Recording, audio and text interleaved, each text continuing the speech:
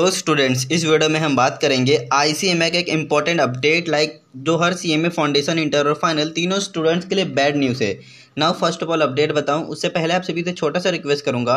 अगर आप सभी यूट्यूब चैनल पर नए हो तो प्लीज़ चैनल को लाइक सब्सक्राइब एंड जो साइड में बेल आइकन वाला बटन से प्रेस कर देना, ताकि सीएमए एग्ज़ाम रिगार्डिंग कोई भी इंपॉर्टेंट अपडेट अनाउंसमेंट या नोट्स आप मिस ना कर सके। और एक बात, अगर आप सभी ने अभी तक गुरोन वाले टेलीग्राम चैनल नहीं ज्वाइन किया तो प्लीज़ जाके ज्वाइन कर लेना।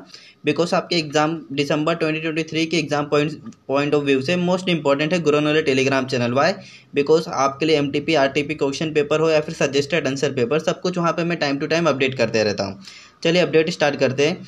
तो एक बैड न्यूज़ है जो हर C M A foundation inter और फाइनल तीनों स्टूडेंट्स के लिए सर क्या बैड न्यूज़ है?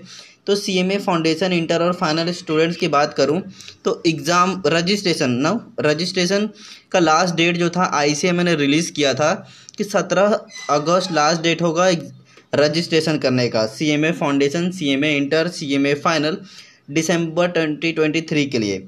बट बहुत सारे स्टूडेंट ने स्किप आउट कर दिया इग्नोर कर दिया। कुछ स्टूडेंट कन्फ्यूज़न में थे कि रजिस्ट्रेशन और एग्ज़ाम फॉर्म दोनों सेम होता है। तो उनको मैंने कन्फर्मेशन के लिए भी बताया भी था रजिस्ट्रेशन अलग है और एग्ज़ाम फॉर्म अलग है। तो अगर आपने सत्रह अगस्त के पहले पहले रजिस्ट्रेशन नहीं किया है, फिर सत्रह अगस्त तक, और आपके माइंड में अब आ रहा है, सर, मैं रजिस्ट्रेशन कर सकता हूँ क्या C M A foundation inter और फाइनल में?